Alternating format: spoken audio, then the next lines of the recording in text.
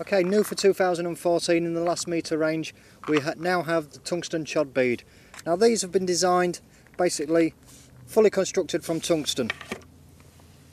They're teardrop shaped, they have a large diameter hole at one, one end which is reduced in diameter, tapers off to a thin diameter at the other end. Now this will grip most sort of like lead-free leaders, lead core leaders, your poly leaders, even your mainline.